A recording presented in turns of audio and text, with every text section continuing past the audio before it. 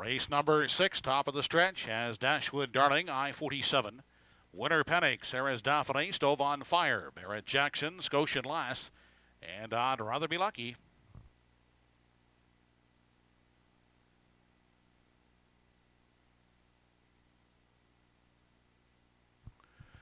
They're off and uh, pacing with Dashwood Darling at the rail, away to grab the early lead. Out second is Winner Panic, followed by Sarah's Daphne in uh, three.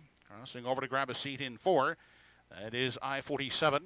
Unhurried back there in five is Stove on Fire. Then Barrett Jackson is the sixth in line back there in seven.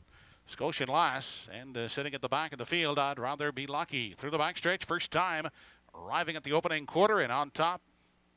That's Dashwood Darling leading the way by a length. Winter Panic tied up in the pocket. Sarah's Daphne takes a look at a three, holding down the four spot in the early going. Is I 47 Stove on Fire, the first to sacrifice, moving first up fifth. Sixth and following cover now on the outside. That's Barrett Jackson. Then back to Scotian Lass to the outside from the back. I'd rather be lucky. The quarter was reached in uh, 30 and 1 as they swing off the turn. Entering the stretch now, approaching the halfway point, and unstressed in the front end. Dashwood Darling yet to be pressured as they move past the halfway marker.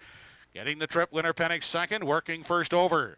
That is Stove on Fire third. Fourth inside Sarah's Daphne. Barrett Jackson follows cover, getting a second over toe in five. Back sixth on the inside. That's I 47. Then I'd rather be lucky. And at the back, Scotian Lass. They race to three quarters. 101 and two the half. Dashwood Darling still shows the way. Barrett Jackson out three high now second. Outside racing in a three is Stove on Fire fourth and down at the rail is Winner Panic. They arrive at three quarters, and Barrett Jackson has taken over. Second is Dashwood Darling. Stove on fire, the outside third. Inside looking for room. Winner Panic is fourth. Then Sarah's Daphne moves to the outside from five. They race past the 7 8s now. 131 and three, three quarters. Barrett Jackson opening up in the front. Out there by five expanding lengths with an eighth to come. Stove on fire second.